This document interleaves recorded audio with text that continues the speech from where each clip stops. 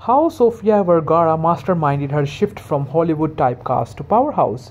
Sofia Vergara went from playing Colombian bombshell in Modern Family.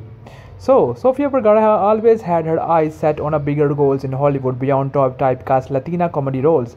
The massive success of Netflix show Griselda has only fueled her hunger for more, despite the success of her critically acclaimed role of Colombian uh, bombshell Gloria Pritchett on Modern Family. The 51 year old actress is determined to boost both her net worth and her power in the entertainment industry.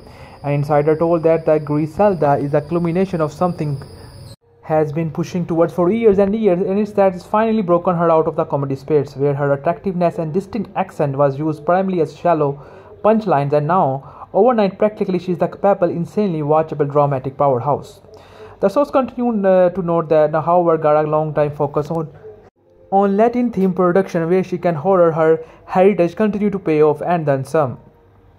Vergara, who portrayed the Colombian uh, Griselda Blanco on the hit Netflix series, has uh, indeed worked hard for Latin representation. She co-founded and co-owns Latin World Entertainment, a management company specialized in Latin talent.